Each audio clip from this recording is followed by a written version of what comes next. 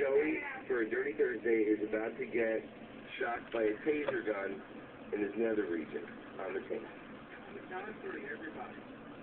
One,